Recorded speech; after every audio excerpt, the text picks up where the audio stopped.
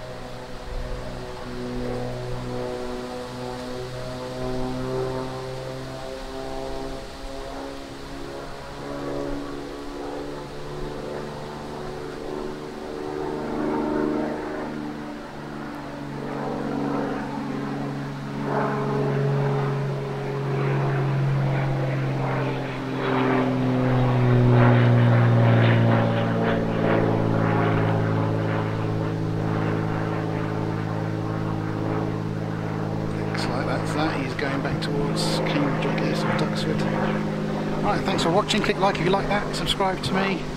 Look through my other videos. I've got thousands of great videos.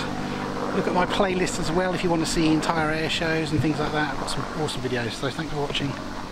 Bye bye.